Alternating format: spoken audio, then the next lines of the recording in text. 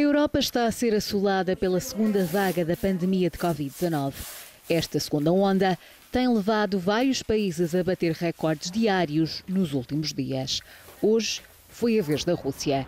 Foram registados 13.868 novos casos e 244 óbitos nas últimas 24 horas, os valores mais altos de sempre notificados no país.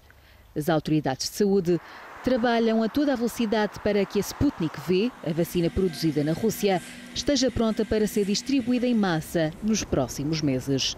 Na Alemanha, somaram-se mais de 4 mil novas infecções, o dobro dos registros da véspera e da última terça-feira.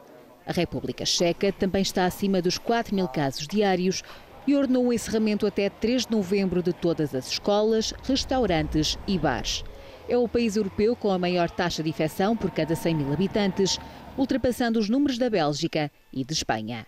A prevalência da doença em França está a sobrecarregar o sistema de saúde e foi motivo de mais um apelo por parte do primeiro-ministro Jean Castex para que se reduza ao máximo os ajuntamentos e se limitem as reuniões.